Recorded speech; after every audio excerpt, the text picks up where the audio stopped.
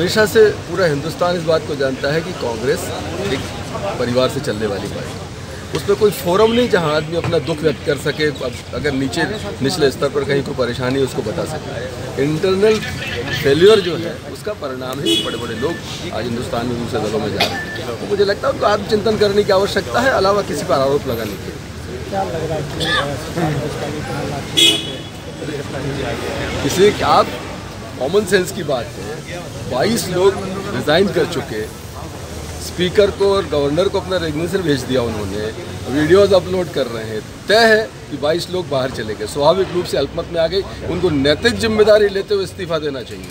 Floor में जाके बेज्जत हो, इससे बेहतर है। वो सीनियर लीडर हैं। उनको रिज़ाइन करके और एक, जो शुचिता और नैतिकता के मूल्य पर चलने वाली जो हमारी डेमोक्रेसी है, उस पर उनको अमल करना चाहिए।